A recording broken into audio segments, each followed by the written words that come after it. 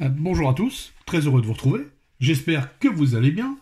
Euh, on se retrouve aujourd'hui pour un tuto. Alors ça va être un tuto, c'est le premier. Ça va être un tuto intégral sur une figurine depuis le temps qu'on me le demande. Alors j'ai pris celle-là parce que bon, apparemment on va, faire, on va partir sur des techniques assez simples euh, pour avoir un résultat, on va dire un, un petit peu au-dessus d'un tabletop. Le but c'est de faire une figurine assez rapide. Je pense notamment à ceux qui, qui doivent peindre pour faire des unités et tout, et tout ce qui va avec. Alors nous, ce qu'on va faire, on va pas se casser la tête, on va faire un schéma, euh, partir sur du sombre. Euh, je vais faire un genre pas, pas vraiment grim dark, mais pas loin. Euh, un truc assez simple. Alors moi, je vais utiliser des, des différentes peintures, différentes techniques. Alors ne pas vous inquiéter, euh, c'est réalisable avec d'autres teintes, avec d'autres teintes. Par exemple, aujourd'hui, je vais utiliser de la peinture à l'huile pour faire des, des jus. Bon, bah, euh, vous, vous pouvez le faire avec, du, de la contraste ou bien même carrément du, du, du lavis ou des encres diluées euh, à bon escient. Là-dessus, on va utiliser beaucoup aujourd'hui, donc on va faire des jus, on va faire euh, de l'aéro. Aujourd'hui, ça va être de l'aéro. Le but, c'est de faire une figurine assez rapide. Donc moi, je prends l'aéro parce que je vais aller plus vite. Je vais faire un rendu plus fin.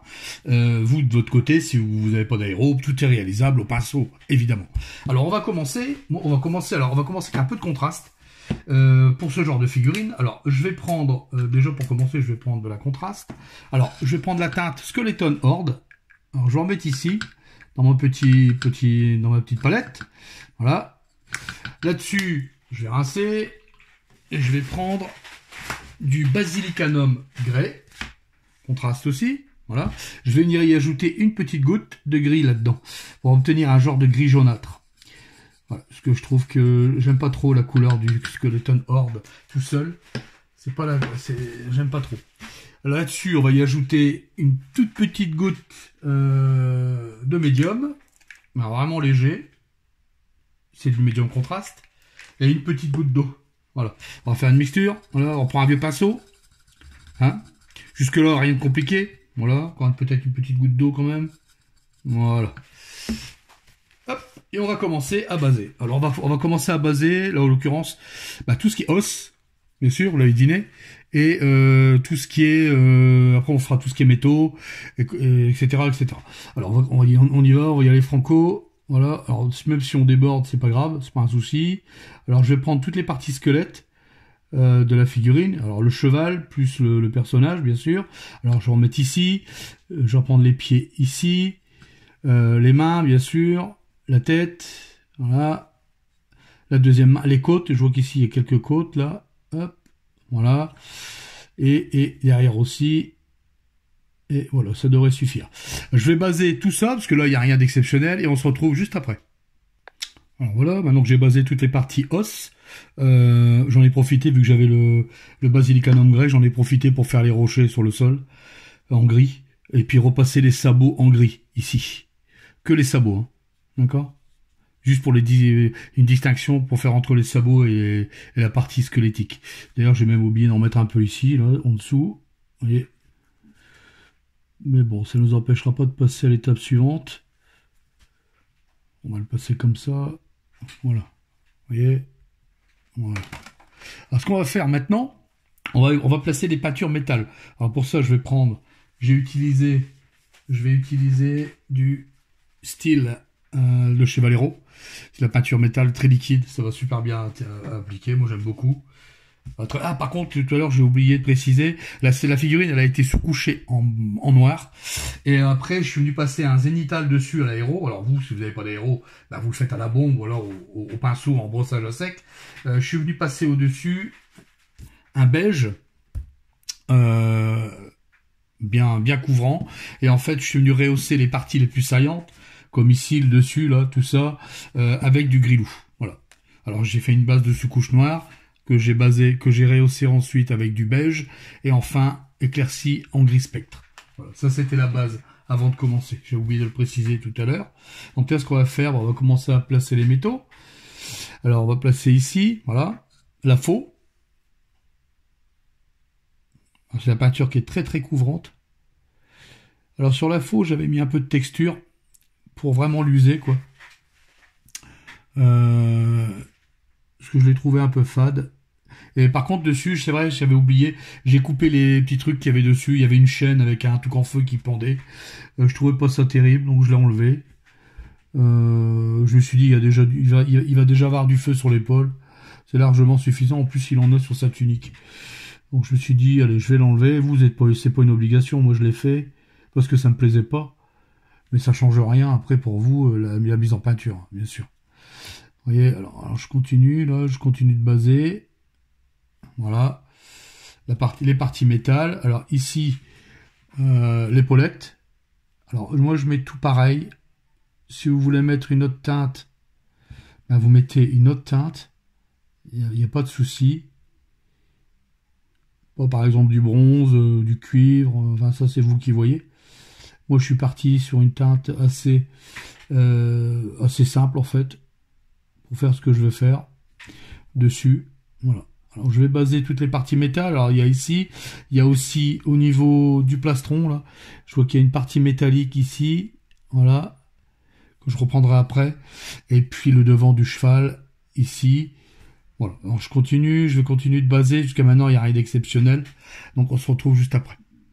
Alors voilà, une fois que les métaux sont, ils sont passés, hein, comme on voit bien sur la sur, sur l'image, ce qu'on va faire maintenant, on va placer, alors je vais peindre la selle, alors je vais utiliser du marron. Alors pour ça, je prends du brun carbonisé. Euh, n'importe quel marron foncé fera l'affaire. Et après, je prendrai à côté ici pour faire les bois. Je prendrai du... Alors là, par contre, c'est une couleur, moi, c'est vieux bois. C'est Old Wood de chez Valero aussi, Panzer Ace. N'importe quel bois fera l'affaire. Je voulais simplement dissocier un peu les deux. Voilà. Alors, on y va. Alors, la selle. Alors, j'aurais pu la faire en métal. Et moi, je vais la faire en marron. De toute façon, après, quand on va passer les jus, on saura plus bien quoi qu'est-ce. Parce que le but, en fait, de cette figurine, moi, c'est d'obtenir une figurine, euh, comment dire, euh, un peu dans ce style-là. Voilà. Vous voyez? Je sais pas si on voit bien. Voilà. Mais ça va être différent. Voilà pour l'instant, c'est basé, il hein, n'y a rien de bien surprenant. Aujourd'hui, euh, pour l'instant, on ne sait pas où on va. On, dit, on, pose des, on pose des bases, c'est pas terrible. Mais bon, ça, c'est normal. C'est toutes les peintures comme ça.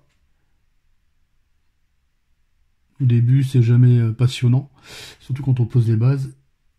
Puis en plus, cette figurine n'est pas facile à, retourner dans tous les sens. Sachant qu'en plus, je dois rester dans la caméra. Voilà. Si on déborde un peu, c'est pas grave du tout. Alors, j'ai pris ici, et il y a un petit morceau devant qui se trouve là. Voilà, je vais reprendre un peu de... humidifier un peu le pinceau. Hop. Voilà.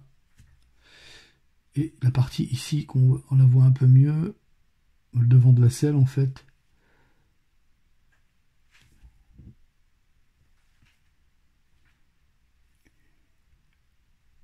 sais pas si on voit bien. J'ai l'impression.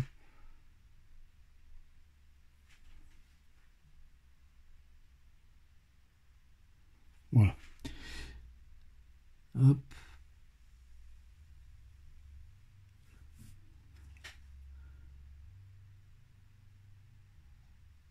Voilà.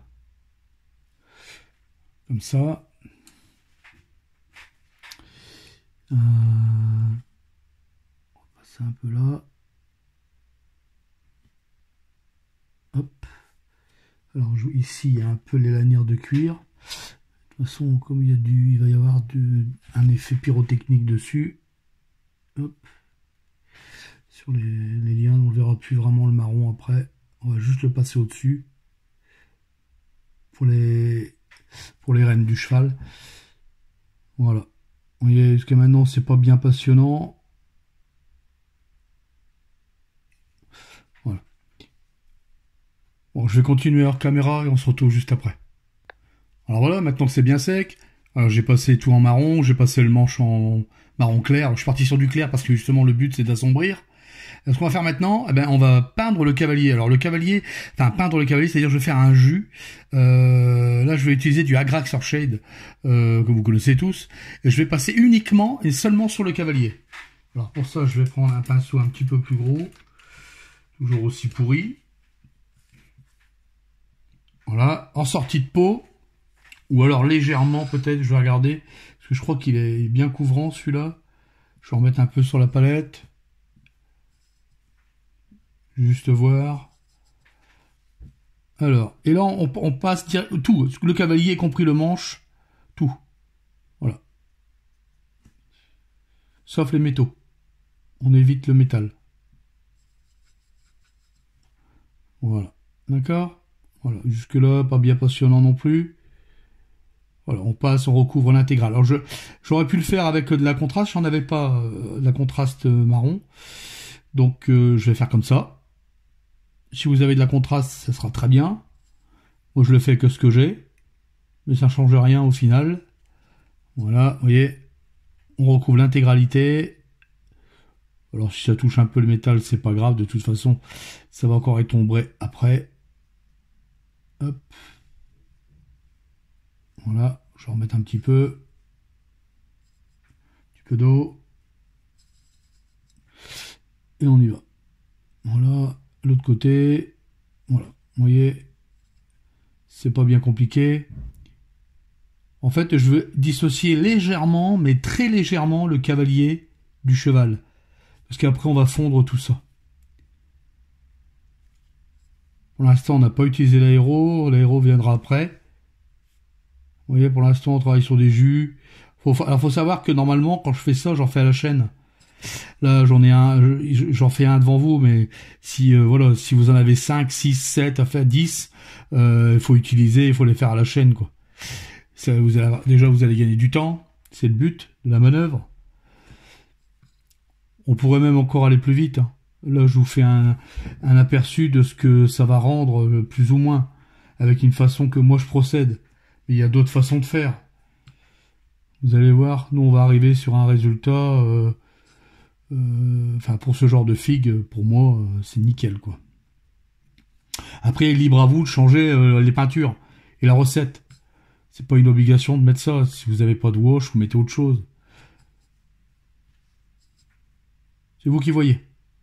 Voilà, je peux en mettre, je vais en mettre un petit peu sur le, sur le métal quand même. Allez, je vais tout recouvrir. Soyons fous. Je vais faire pareil avec la faux en fait. Voilà. Je suis hors caméra, ça va pas. De toute façon, ça va encore changer. Voilà. Même si je mords un peu sur le cheval, c'est pas grave. Voilà. Voilà, ce qu'on va faire maintenant, c'est qu'on va le laisser, on va le laisser sécher. Voilà. Ouais, on va laisser sécher tout ça. On se retrouve juste après. Je vais peut-être enlever le surplus. Voilà. Voilà. Allez, on se retrouve juste après. Alors voilà, maintenant que c'est bien rehaussé. Alors par contre, ce que j'ai dû faire euh, au-dessus de la grasse Herschel, j'ai repassé un filtre euh, de Skeleton Horde dessus. Euh, parce que je trouvais que c'était un peu trop trop pâle. moi, je voulais un peu plus jaune. Alors ce qu'on va faire maintenant, on va rehausser à l'aéro tout, tout, tout, le squelette en fait, les bois, enfin le, toutes les parties squelettes, le tissu, tout. On va le faire à l'aérographe. Alors ça n'a pas à être précis, alors je, vais déjà commencer par les jambes. J'espère qu'on voit bien. Voilà. Les jambes du squelette. Alors je vais y aller doucement. De toute façon, ça sert à rien de rehausser trop. Étant donné qu'après, euh, on va revenir avec, euh, avec des jus de noir. Donc euh, là, je vais juste rehausser un petit peu. Sans trop exagérer.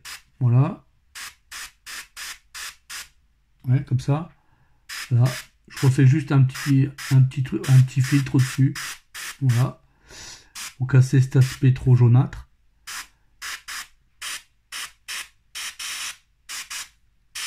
Alors si vous n'avez pas l'aéro, bah, vous le faites au pinceau, hein, au brossage à sec, bien sûr.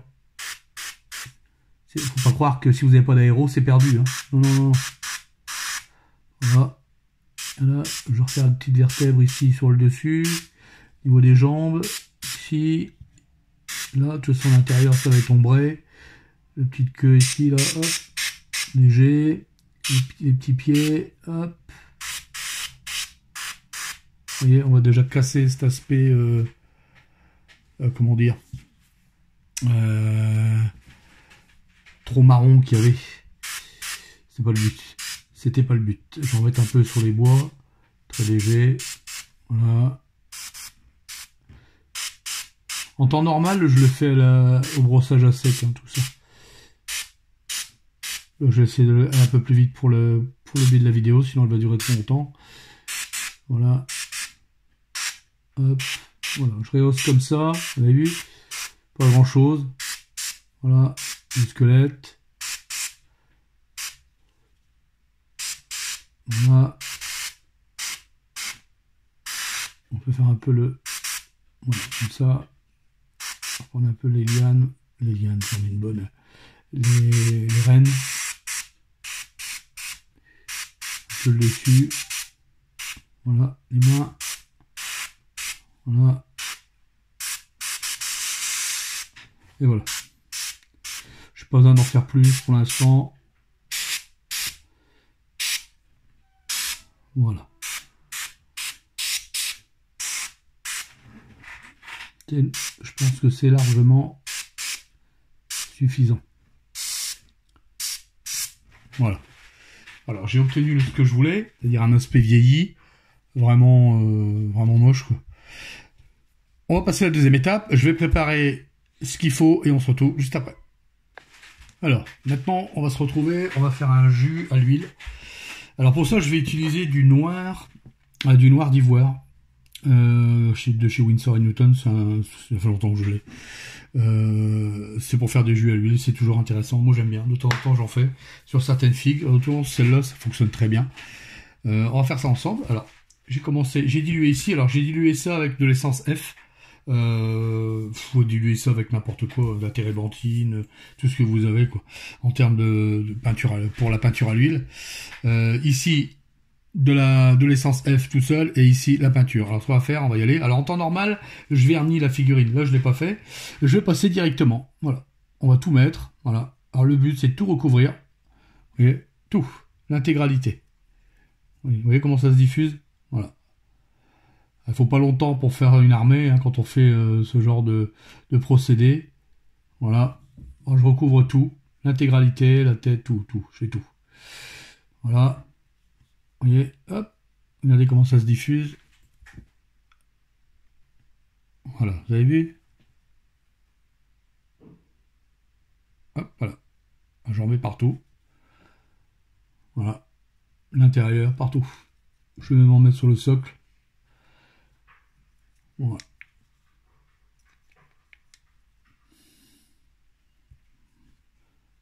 Tout à l'heure, j'avais mis, euh, comme j'avais du, wash, du agrac, j'en avais mis sur le socle aussi pour dire d'avancer un peu. Voilà, vous voyez? Voilà. On fera un brossage à sec tout à l'heure. Voilà. Voilà, comme ça, je l'ai bien mis partout. Pas oublier la tête du, euh, du cavalier. Voilà.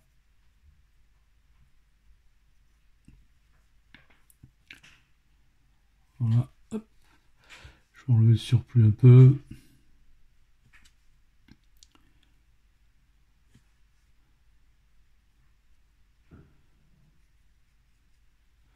L'intérieur, hop. Voilà. Je vais insister sur le bas aussi. Car le bas, je le veux vraiment sale. Voilà. Là, on repassera l'aéro tout à l'heure. Voilà. voilà. Ce qu'on va faire maintenant, pour éviter que ça... Alors, au temps normal, je prendrai des cotons-tiges pour enlever. Et là, ce que je vais faire, je vais le faire directement dans le frais. Alors, je vais prendre directement mon essence F, je trempe, et je vais venir légèrement polir au-dessus, pour faire ressortir quelques zones. Voilà, vous voyez? Comme ça, hop, j'efface. Voilà, j'y vais léger. J'y vais même à tâtons. Vous voyez, hop. Voilà. C'est très léger. Voilà. Je vais faire pareil ici, sur les, endroits qui prennent le plus la lumière. Voilà. Vous voyez? Je retrempe. Je vais faire pareil de l'autre côté. Voilà. Je vais faire pareil sur le squelette. À certains endroits. Enfin, sur le personnage, je veux dire. Voilà. Hop. La tête ici. Je vais en enlever un petit peu. Hop. Vous voyez, ça va tout seul. Hein. alors, quand vous voyez à côté, c'est que j'essuie le surplus sur le sopalin. Hein. Voilà. Hop. Le haut du cheval, ici, là, au niveau de la colonne. Voilà. Voilà. Devant. Un peu ici. De toute façon, après, on va rehausser tout ça à l'aéro. Voilà. Je vais remettre un peu quand même. Ce qui est bien avec la, peinture à l'huile, c'est qu'on peut l'enlever, remettre. C'est à, votre bon vouloir. Voilà.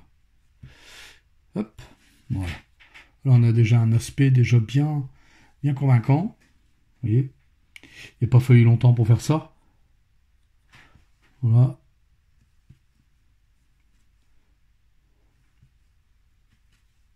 Je vais en mettre un peu aussi sur le... J'en ai peut-être pas mis assez. Voilà. On va essuyer le surplus. Alors l'inconvénient quand vous utilisez des peintures à l'huile et les solvants, bah ça sont pas très bons. Ça, ça c'est l'inconvénient. Donc essayez d'aérer quand même dans votre pièce si vous utilisez ce genre de produit. Et donnez pas ça aux enfants surtout. Soyez toujours avec eux. Voilà. Ce qu'on va faire, c'est qu'on va laisser sécher. J'enlèverai quelques détails. Ensuite, euh, j'utiliserai simplement ben, des cotons-tiges pour aller dans certaines zones. Vous voyez? Voilà. Allez, on se retrouve juste après. Alors voilà, maintenant que c'est bien sec, alors je vais laisser comme ça, tel que. J'ai enlevé tout à l'heure ici, mais de toute façon on repassera l'aéro après. on a bien contrasté la figurine. Alors pour l'instant elle est assez, terne, on va dire. Ce qu'on va faire maintenant, on va prendre un peu de rouille. Alors je vais utiliser du wash euh, de chez Valero. Alors c'est du light, j'ai pris du light. J'aurais pu prendre du plus du plus fort, mais j'ai utilisé celui-là. Puis je vais y recouvrir les parties métalliques. Voilà. Alors, faut savoir qu'au séchage, cette teinte s'estompe. Elle va pas rester comme ça. Oui, voilà. Hop. Voilà. Alors je vais faire ça sur toutes les parties métalliques.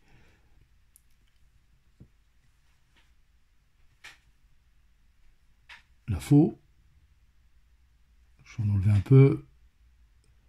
De côté, au-dessus de l'autre côté. Je vais pas oublier l'épaulette.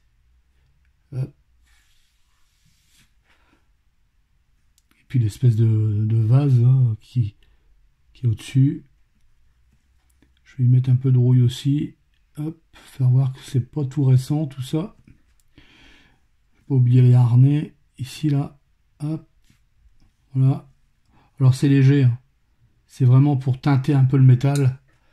Mais euh, une fois sec, ça s'estompe. Voilà. À moins de repasser couche sur couche, bien sûr. Voilà. On va attendre que ça sèche un peu. Là, ce qu'on va faire maintenant, c'est qu'on va utiliser... Alors, je vais reprendre du métal. Cette fois-ci, je vais prendre du silver. Hop, voilà. Ici, là. Que j'ai mis sur la palette. Voilà. Je vais venir rehausser un peu les parties métal. Alors surtout les arêtes, on va dire. Ressortir un peu le tout. Je n'attends même pas que c'est sec, c'est pas grave. Si ça se mélange, c'est pas un problème. Cette figurine s'y portera très bien, de toute façon.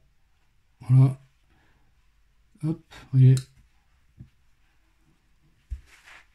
J'espère qu'on voit bien. Voilà. ici. Alors c'est la peinture très liquide, elle marque très fort. On va faire le petit rivet là, hop. Ce qui est bien avec celle-là, c'est que moi je fais des. J'arrive à faire des glacis avec ça. Pas plus mal. Hop. Vous voyez, hop. Voilà. Voilà. Alors la faux, pareil. La faux, on va la faire comme ça. Ah non, plutôt dans le sens là. Et je vais reprendre le tranchant en fait. C'est pas évident la caméra. Hein. Reprendre le tranchant. voilà. Voilà. Je reprends un peu au-dessus. Vous voyez, on voit que j'avais mis de la texture. Hein. C'est ça, ça, prend bien. on va refaire un peu le tranchant, mais léger. Voilà, comme ça. Vous voyez, je pose des petits points, des petits traits. Voilà, je donne un peu de texture en fait. Travailler un peu le métal. Voilà, je fais pareil de l'autre côté. Vous voyez.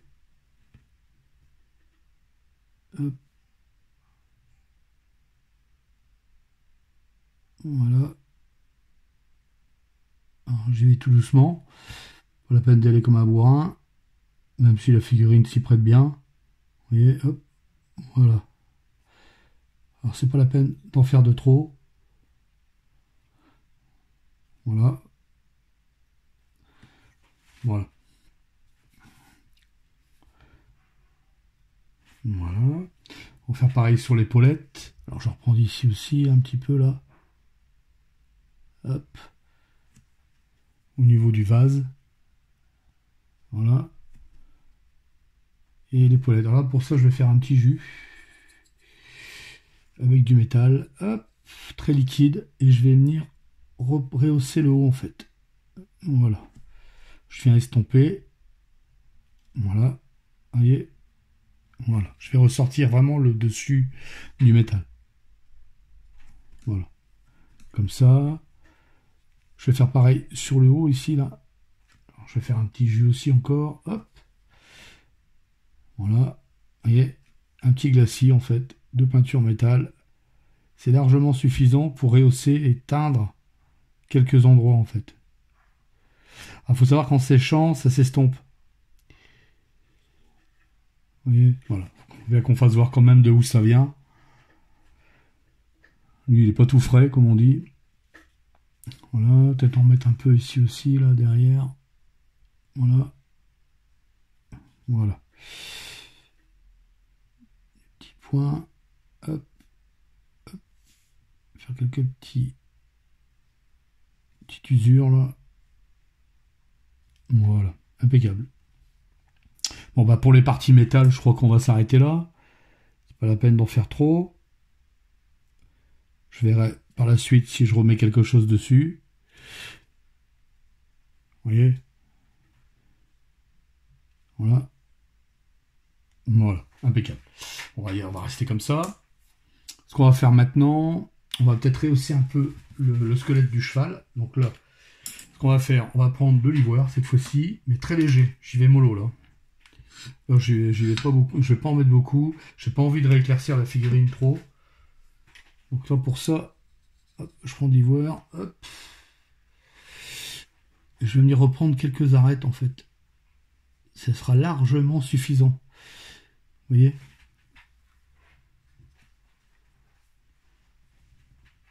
Au niveau du cheval, donc la collerette ici. Voilà. Voilà. Vous voyez? Hop. Les dents. On les voit pas presque pas, mais bon, on va le faire quand même.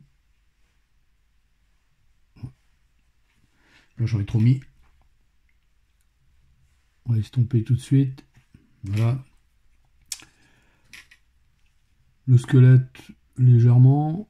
Au niveau en dessous, là. Ici. Au niveau de la mâchoire. Un peu les mains. Ici, pareil. Voilà.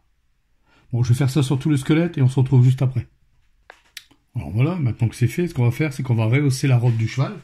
Alors pour ça, je vais utiliser du gris, du gris spectre, tout simplement, du chevalero. Voilà.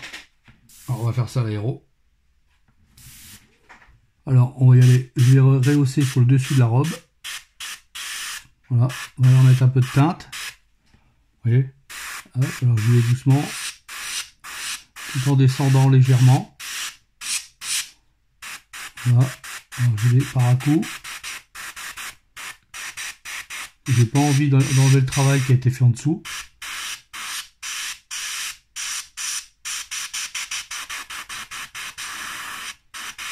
Voilà. Voilà.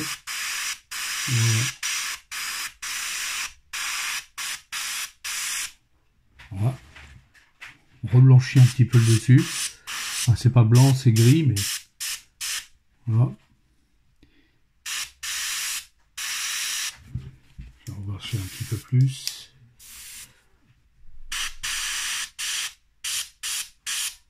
Voilà.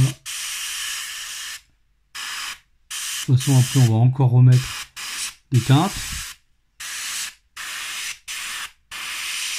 Alors bien sûr, là, là si vous voulez arrêter pour jouer, c'est bon. Hein.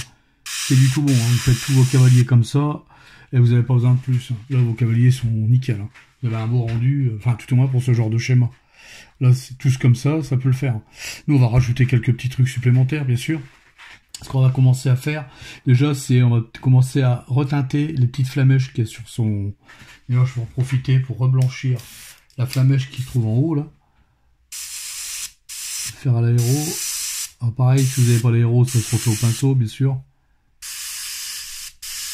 c'est pas du blanc, mais c'est du gris, c'est tout comme. Voilà. Ça, ça va être important pour après. Ce qu'on pourrait éventuellement faire, c'est blanchir un tout petit peu le petit flamèche qui se trouve là.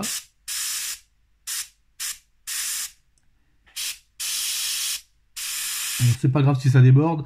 De toute façon, je comptais faire un, genre de petit effet, petit effet genre OSL quoi. Ça devrait pouvoir le faire. Voilà, voilà, c'est largement suffisant. Hop. Pour blanchir un petit peu aussi les os. Pour mettre directement un peu de gris, pourquoi pas. Ça, vous voyez exactement comment je procède quand je fais magnifique comme ça, quoi. Voilà. Vous allez voir, c'est pas fini. On voit bien les textures que j'allais faire. Je j'ai pas envie de les enlever. Voilà. Alors le son, le, le bas est tout sombre, c'était le but justement. Ce qu'on va faire maintenant, on va commencer à reteinter un petit peu les flamèches. Alors euh, j'hésite. Alors est-ce qu'on fait du vert ou est-ce qu'on fait du du feu? Bonne question. Je ne sais pas. Euh, je vais déjà attendre que ça sèche et on se retrouve juste après. voilà, maintenant ce qu'on va faire, on va venir mettre un petit peu, on va venir mettre un peu, faire un peu de weathering. Donc pour ça, je vais utiliser du marron, le marron de tout à l'heure que j'avais utilisé. C'était le brun carbonisé, euh, celui-là, qui se trouve là sur la palette. Je vais prendre un tout petit bout de mousse, mousse de blister, et on va venir voilà, on va venir tampoter, tamponner euh, comme ça le bas. Comme ça. Voilà. On va venir taper comme ça pour donner un petit peu d'effet. En plus, un petit peu de. On va donner un petit peu de couleur à ce gris. Voilà, comme ça.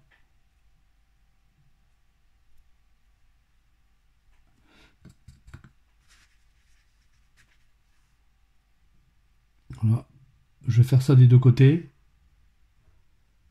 On peut remonter un peu, c'est pas gênant.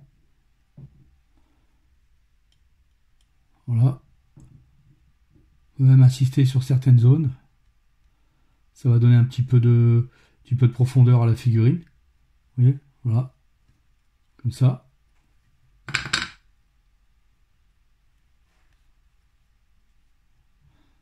Voilà. Même si ça touche un peu le bonhomme, c'est pas grave. Je vais faire l'autre côté, on se retrouve juste après. Alors voilà, maintenant on se retrouve. Alors on va faire les flamèches, alors que j'avais blanchi tout à l'heure. Cette fois-ci, alors je vais prendre du orange.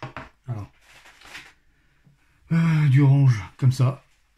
Moi j'ai pris du orange feu avec une pointe de Ice Yellow de chez Prince Auguste. Et enfin euh, je vais y ajouter du médium. J'en ai fait un petit jus ici, là, comme ça. voilà. Et on va pouvoir passer toutes les petites flamèches comme ça, de chaque côté, ainsi que le vase, tout au moins déjà pour baser. Vous voyez? Voilà. comme ça, hop, voilà, directement sur le blanc en fait. Tout simplement. D'accord? Voilà. Pareil pour la flamèche du haut, on fait exactement pareil. Voilà. Je vais faire ça sur partout, là où il y a toutes les petites flammes, et on se retrouve juste après. Voilà, alors ensuite on se retrouve à faire un mélange euh, de rouge fluo et de ice yellow, donc j'ai fait ici, comme ça, et on va venir passer ça sur les petites flamèches. Voilà. Alors on n'est pas peur de, charger, parce qu'après on va repasser du fluo dessus pour intensifier les flammes. Oui, voilà. Alors, cette étape, elle est importante, sinon l'effet, il sera pas. Voilà. On va faire pareil pour le vase. On va envoyer doucement, on va prendre juste les arêtes. On va laisser un temps soit peu le orange. Vous voyez, comme ça. Voilà. On va faire pareil de l'autre côté. Voilà. Voilà. On prend les petites flamèches qui sont ici, on fait pareil.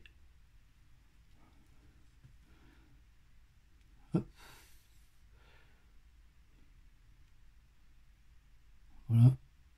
Peut-être en remettre un peu. Voilà.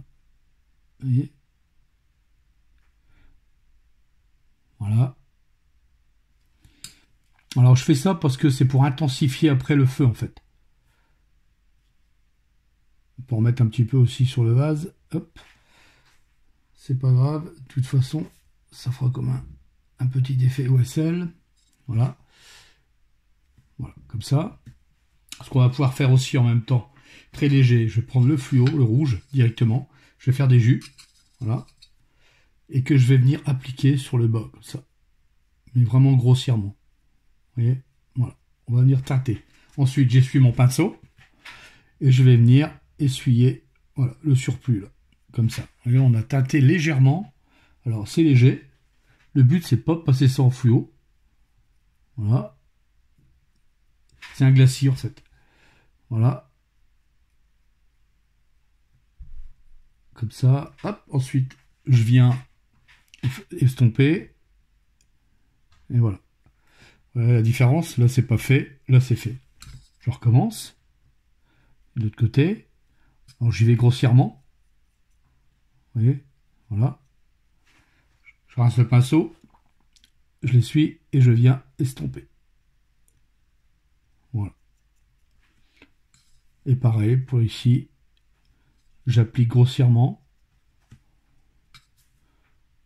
Voilà. Je rince le pinceau et je viens estomper. Ça, je peux le faire deux, trois fois, jusqu'à temps que la teinte me convient. Voilà. On attend que ça sèche et on se retrouve juste après. Voilà, maintenant ce qu'on va faire, on va prendre l'aéro. Alors si vous n'avez pas d'aéro, vous pouvez le faire au pinceau. Et moi, je vais venir passer directement du rouge fluorescent directement sur les flammes. Alors j'y vais doucement. Voilà je vais faire un tout, en profiter pour faire un tout petit effet OSL sur le haut du crâne, voilà, et, la manche, ainsi que le métal. Faut que ça soit léger, faut pas que ça soit trop, trop voyant. On va mettre un peu aussi sur la, sur la tunique et enfin sur les flammes ici. Donc là, on va pouvoir repasser directement la tunique en fait. Voilà. Estomper. Alors, je vais faire les deux côtés et on se retrouve juste après pour les petits détails. Alors voilà, maintenant qu'on a fini, ce qu'on va faire, on va faire un petit rappel du rouge euh, sur, le, sur le socle. Alors pour ça, on va le faire aussi à l'aéro. Alors encore une fois, c'est faisable au pinceau. Alors j'avais passé un petit coup de blanc juste avant pour dire d'intensifier la teinte. On va juste passer un tout petit coup de, rouge. Voilà. Ça va faire un petit rappel euh, sur le socle de la figurine. Voilà. Pas besoin d'en faire plus. Ce qu'on va faire maintenant, c'est qu'on va ombrer encore un tout petit peu plus le bas de la cape. C'est pour ça qu'on va utiliser du noir. Et ça, quand c'est bien, hein, c'est un beau petit schéma. Après, libre à vous, on aurait pu changer aussi directement. Euh, moi, j'ai bon, moi, je suis parti sur le la, couleur feu, mais euh, on aurait pu faire aussi, euh, par exemple, vert ou, violet. C'est à vous, à vous de changer après l'effet que vous voulez mettre ou pas. Hein, ça, c'est vous qui voyez. Voilà, je vous ai fait voir une recette pour peindre, par exemple, un cavalier. Voilà, là, on est dans un thème assez spécial, mais je trouve que ça a de la gueule, quoi. Ça rend bien, quoi. Sur une table, ça doit bien rendre. ce qu'on va faire on va utiliser maintenant je vais, je vais mettre en pause, je vais préparer et je vais, on va utiliser de l'encre intense noire pour ombrer un peu plus le, bas de la figurine ainsi que quelques zones. À de suite. Alors voilà, on va ombrer toutes les parties, euh, les parties basses. Alors pour ça, pareil, on va le faire l'aérographe. Je vais essayer de rester dans le champ. Alors on y va doucement, car ça marque très fort le noir. Surtout l'encre intense. Voilà. On va faire l'intérieur aussi, tant qu'à faire. Peut-être un peu bouché.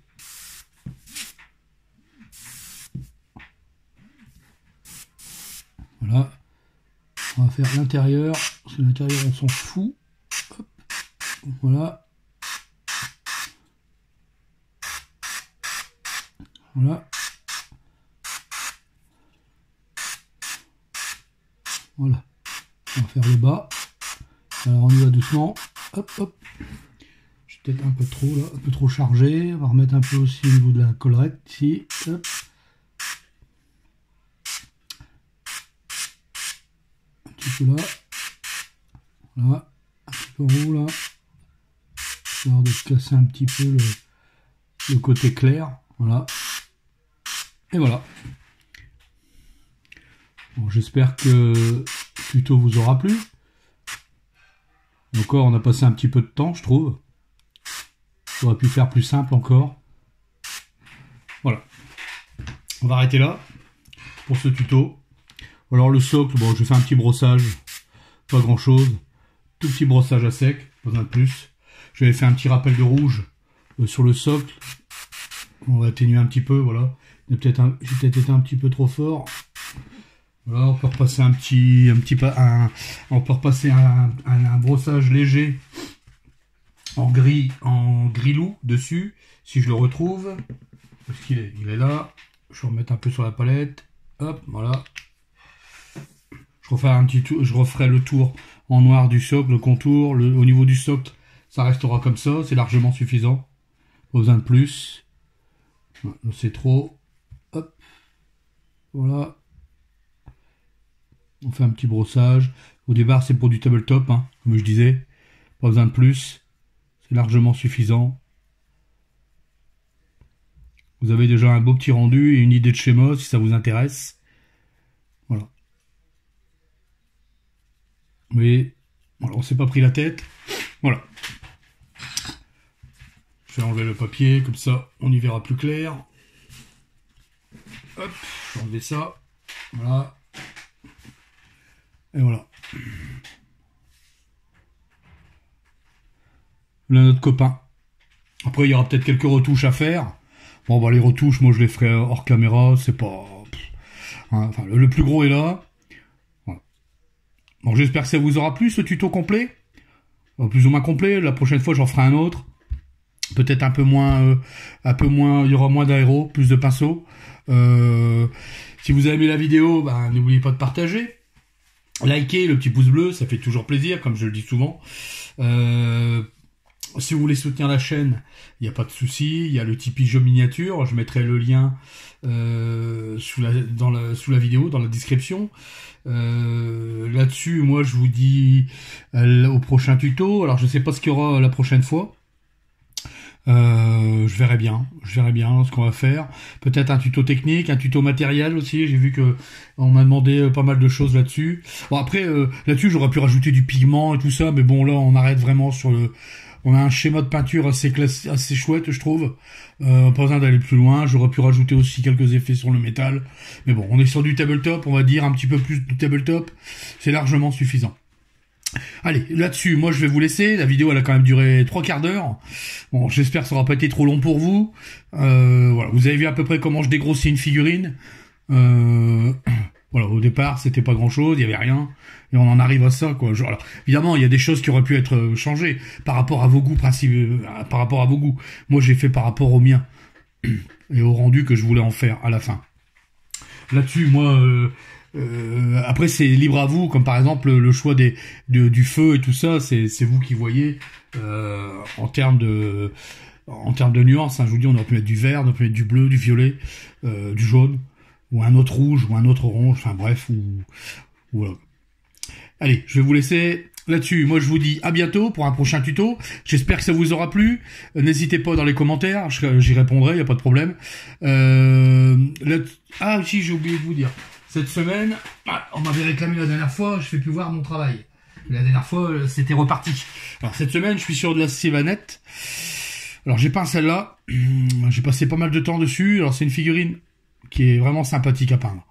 Il y a pas à dire. C'est pas le c'est pas le genre de figue que moi je je, je, prendrais pour moi. Mais euh, au niveau peinture, au niveau, elle est vraiment agréable à peindre cette figurine. Elle est géniale. Franchement, euh, c'est une très belle figue. Et puis j'ai peint lui aussi. Euh, lui, je l'avais fait voir, c'est le Dourtou. Je me suis bien éclaté dessus aussi, c'est pareil. Ce sont des filles qui sont vraiment géniales. Il n'y a pas à dire. Elles sont, elles sont top à peindre. Vraiment pas compliqué. Voilà, voilà le travail que j'ai fait de la semaine. Et j'ai commencé un peu les, les cure notes. Mais ça, ils sont vraiment au début, donc j'ai pas, je peux pas vous les montrer pour l'instant. Voilà. Allez, là-dessus, je vous laisse. Je vous dis un bon week-end. Bon courage pour la suite. De bonnes peintures en vue. Et euh, partagez, likez, le petit pouce bleu comme je vous avais dit. Et moi je vous dis bon week-end, à la prochaine. Ciao, salut